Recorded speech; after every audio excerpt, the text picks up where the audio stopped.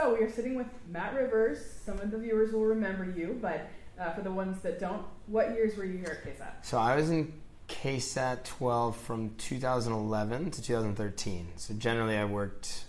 I was lucky enough to work Monday through Fridays when I was here, um, and I did a lot of crime reporting, but also some investigative stuff that uh, I look back on really fondly.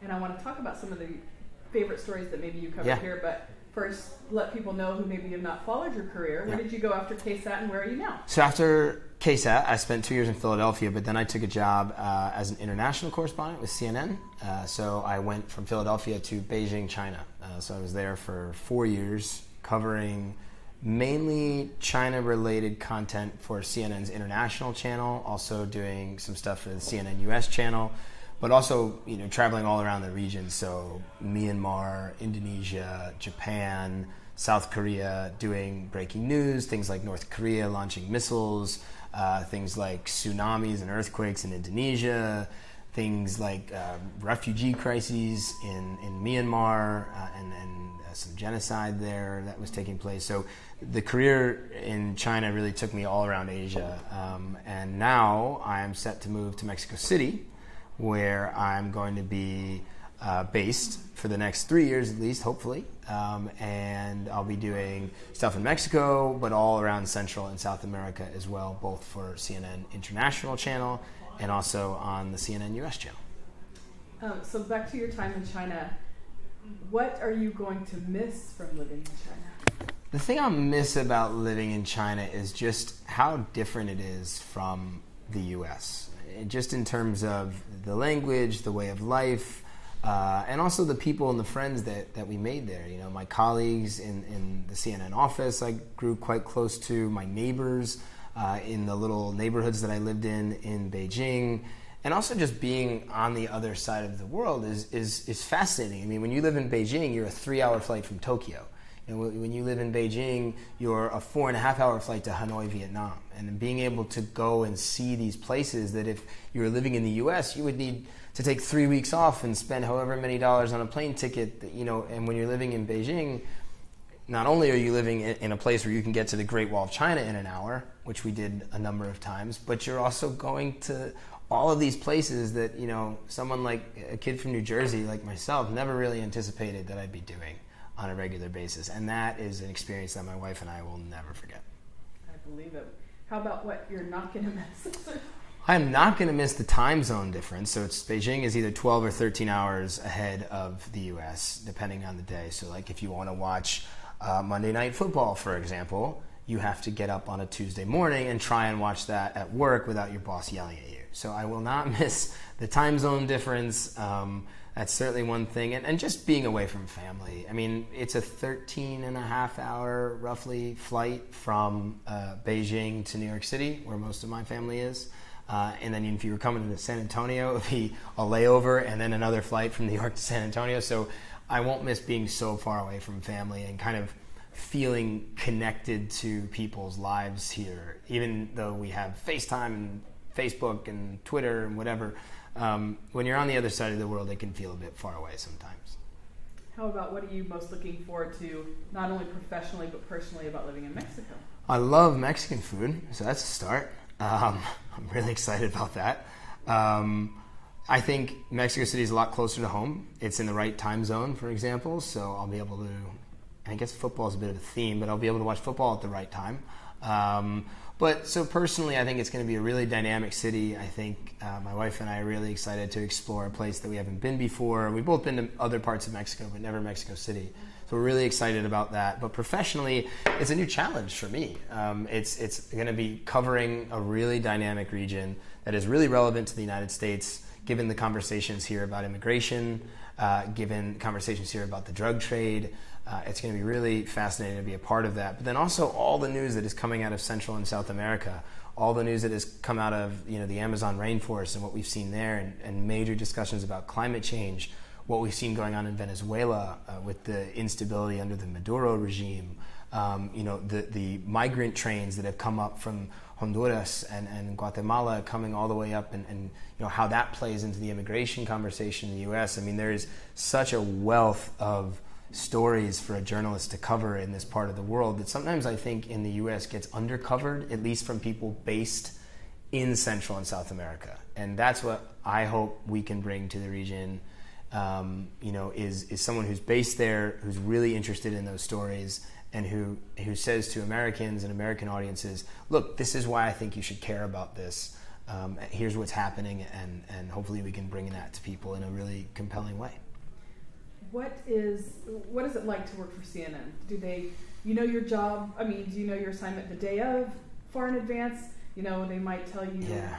the, the next minute they need you somewhere. yeah, it it's really interesting. It, it's very different. You know, at KSAT 12, you know, we have these these shows that you know you know they're scheduled every day, this time, this time, this time. And as a reporter, generally you're working a shift. So when I was here, generally I would work either the day shift or the night shift, and I would report either into the 5 and 6 p.m. shows, or I'd be on the night beat or, or whatever.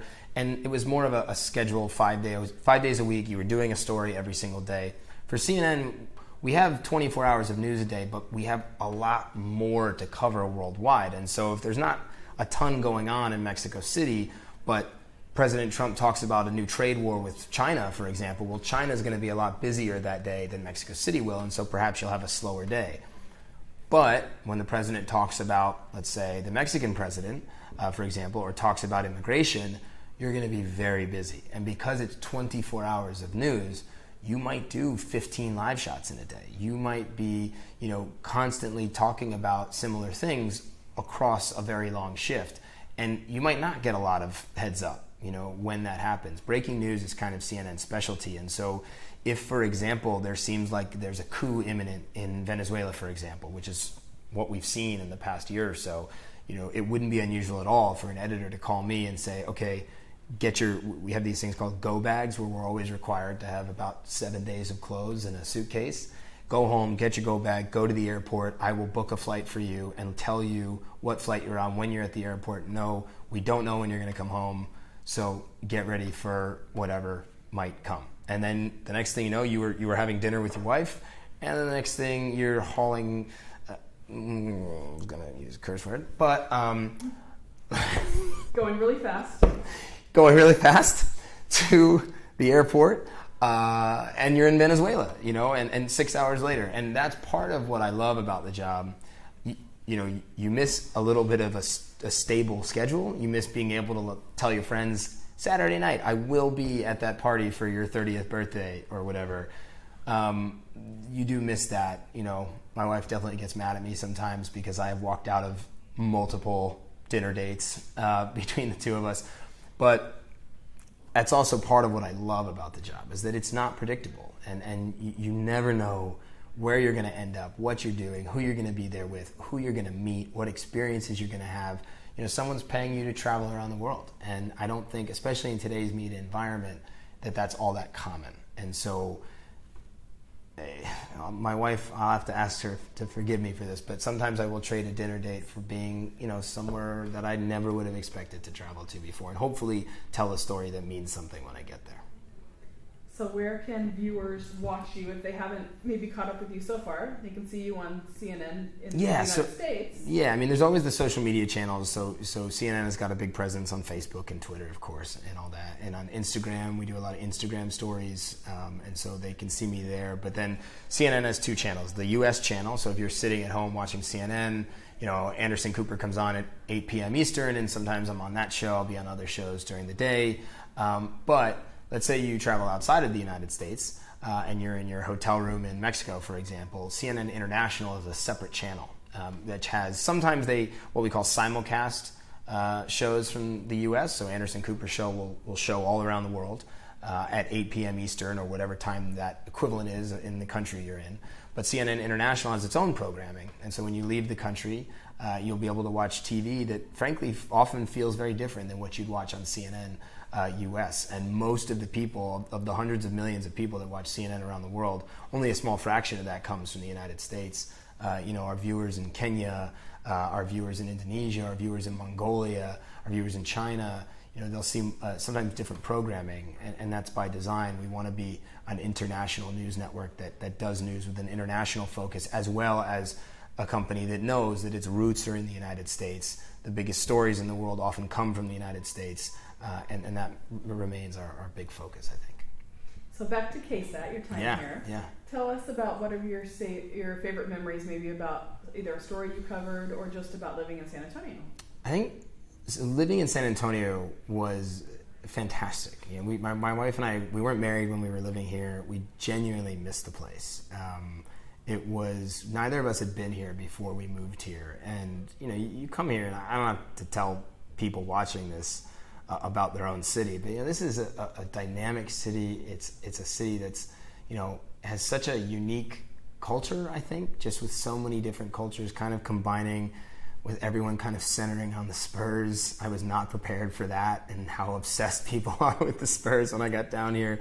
You know, going going to the AT&T Center and, and seeing that, and, and, I was here during a couple of really deep playoff runs when the Spurs were here, and, and, seeing the community center on that, but also just going to the west side or going to the south side, or, or, or you know, going to different parts of, of the community, and kind of feeling how each place has its own kind of vibe, but everyone knows that it's San Antonio, and I and so we really we lived downtown while we were here, but we tried to go all over the place, and I, I, I really missed that.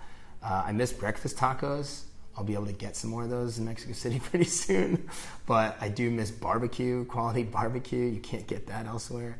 Um, but professionally, I, I, truly look at these two years as like I think really they made me who I am as a journalist. And I and I, I know that sounds like a bit cliche, but when I look back at my time here, you know, the people who work at KSAT, you know, I was 22 years old when I came here, and you know, besides making fun of me for being the kid, you know, they taught me how to do this job, you know, and they taught me what it means to work as a team, and they taught me to work for a news station that I think really values journalism. I think that that's unique um, in a lot of local news stations around the country. The sense of family here, and the sense that people are trying to tell good stories that impact their community. You know that, that they're not willing, that they are willing to do the investigations that might make some people unhappy, but that you know, there was always a sense when I was here that, that our responsibility was not to the powers that be. It was to like the mom and dad and the two kids, you know, living in, in whatever part of the city who were watching our news to find out what was going on. You know, that's, that's who I think KSAT reports for. And that's, and I, I really mean that. And I, and, and I think that, you know, when I look back at my time here, learning, what it means to be a part of a team and learning how to do quality journalism with with the viewer first and foremost. That's that's what I really remember about my time at KSAT. Well, even though you were only here for two years, I think you you know you're memorable to viewers. You're memorable to so. those of us in the so. newsroom. I hope so. Yeah. We are uh, very proud of you and for the journey that you're Thank taking, you. and love to follow along and Thank see you. all the good journalism that you're doing. Well, now, now I'm like a two-hour flight away, so I'll come back and visit again. We'd love to. Great. Thank you.